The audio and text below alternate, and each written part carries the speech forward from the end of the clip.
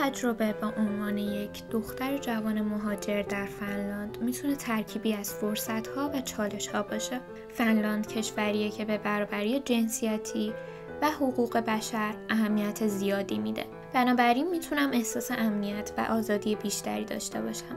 فرصتهای آموزشی و شغلی برای زنان در فنلاند فراوونه که می‌تونه به رشد شخصی و حرفه‌ای من کمک کنه. در مقایسه با محیط قبلی محدودیت های مثل عدم دسترسی به آموزش برابر، محدودیت های اجتماعی و فرهنگی و سنتی برای زنان و کمبود فرصت های شغلی وجود داشت. در فنلاند این محدودیت ها کمتر وجود دارند و من به آزادی بیشتری توی انتخاب های شخصی و حرفه خودم دسترسی دارم. همچنین سیستم حمایتی قوی برای زنان وجود داره که می‌تونن به من توی پیشرفت و تحقق اهدافم کمک کنن.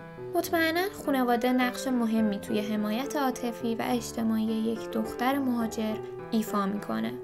اونا می‌تونن در فراهم کردن حس امنیت، راهنمایی و مشاوره توی مواجهه با چالش ها و مشکلات جدید کمک کنن. خانواده می‌تونه به حفظ فرهنگ و زبان اصلی کمک کنه که این امر می‌تونه حس تعلق و هویت رو تقویت کنه.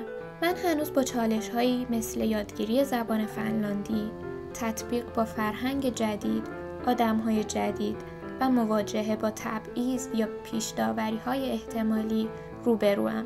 همچنین احساس تنهایی و دوری از دوستان توی کشور مبدع رو تجربه می‌کنم. برای جا افتادن و سازگاری توی جامعه فنلاند یادگیری زبان فنلاندی یکی از مهمترین اقداماته. همچنین شرکت توی فعالیت های اجتماعی و فرهنگی برقرار کردن ارتباط با دیگر مهاجران و فنلاندی ها می‌تونه کمک کننده باشه. مهمه که صبور باشم و از حمایت های موجود توی جامعه و نهادهای دولتی بهره برداری کنم.